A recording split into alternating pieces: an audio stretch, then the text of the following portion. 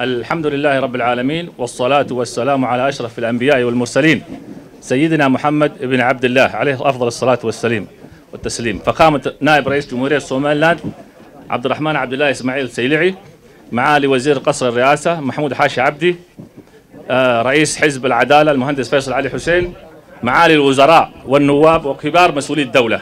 أيها السادات والسادة السلام عليكم ورحمة الله وبركاته. أما بعد فإنه ليوم مشهود.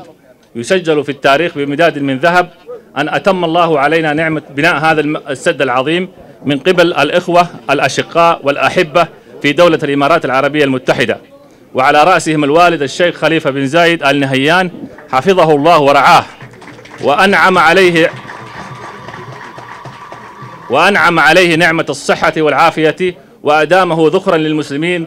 فمهما أشدنا بسموه الكريم لا نستطيع إيفاء حقه فجزاه الله خير الجزاء. على كل ما يقدمه لجمهورية أرض الصومال نسأل الله أن تكتب في صحيفة حسناته. الشكر موصول لصاحب السمو الشيخ منصور بن زايد آل نهيان حفظه الله ورعاه على الجهد الكبير الذي قدمه لإتمام هذا المشروع المبارك الذي سوف يعم نفعه جميع البلاد وسوف يساعد هذا المشروع على التقليل من قلة المياه المنتشرة في البلاد وهو يعتبر أول سد في تاريخ بلادنا يبنى بهذا الشكل العلمي المتطور المتطور. لقد أتم هذا المشروع من لقد تم هذا المشروع من قبل مؤسسة خليفة بن زايد آل نهيان للأعمال الإنسانية ولقد سبق هذا المشروع إتمام مشروع المسلخ في مدينة بربرة بتمويل شريف من دولة الإمارات العربية المتحدة فعطاهم وكرم دولة الإمارات العربية المتحدة منتشر في كل منطقة من مناطق جمهورية أرض الصومال. وهناك العديد من المشاريع المستقبلية التي سوف تمدنا بها الدولة الصديقة الوفية لبلادنا دولة الإمارات العربية المتحدة والتي نسأل الله أن يديم عليهم الرخاء والرفاهية والأمن وأن يزدادوا وأن يزدادوا تقدما فأكثر.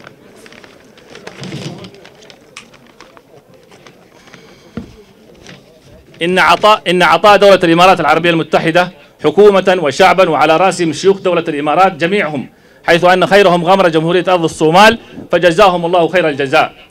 وهذا كله إرث المغفور له بإذن الله الوالد القائد الشيخ زايد بن سلطان آل نهيان وورثه من بعده أبناؤه الأفذاب الذين ساروا على نهج والدهم في الأعمال الخيرية فبارك الله فيهم جميعا. لا ننسى في هذه المناسبة الكريمة أن نشكر الأخ الفاضل مدير المكتب الهندسي لسمو الأمير منصور بن زايد آل نهيان الأستاذ محمد بن راشد الكتبي والطاقم الذي يعمل معه مثل المهندس سلطان الحبابي والمهندس محمد المري والجميع وجميع فريق العمل الذي عمل معنا في هذا المشروع. فلهم جزيل الشكر والامتنان. وأيضا الشكر موصول لشركة كونسير المنفذة للمشروع على الجهد المبذول من قبلهم. وهذا كله تم بفضل من الله ثم بتوجيهات من رئيس جمهورية سوماليلاند أحمد محمد محمود سيلانيو الذي عمل بكل جهد لإتمام هذا المشروع.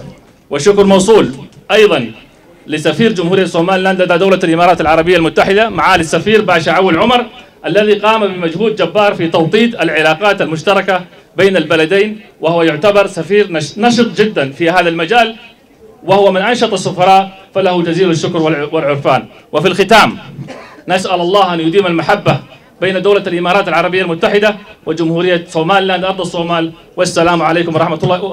آسف آسف آه، لقد لقد لقد تم وقد تم آه، آه، إعطاء اسم هذا السد باسم الشيخ خليفة بن زايد آل نهيان كما ترون في هذه في هذه اللوحة أصبح أصبح اسم هذا السد سد الشيخ خليفة بن زايد آل نهيان فجزاه الله خير الجزاء. وبارك فيكم والسلام عليكم ورحمة الله وبركاته.